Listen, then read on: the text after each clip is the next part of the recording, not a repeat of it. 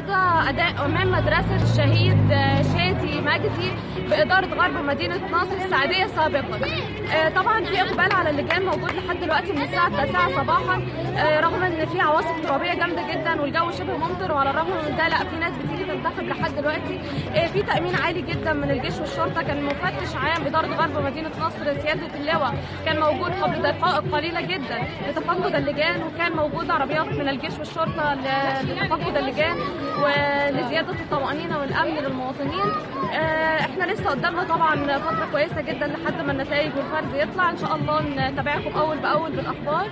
ونتمنى إن إحنا نكون غطينا النهارده كمان بشكل كويس جدا. آه، كانت معاكم مروة رشدي محمد وكاله أونا للنشر والصحافه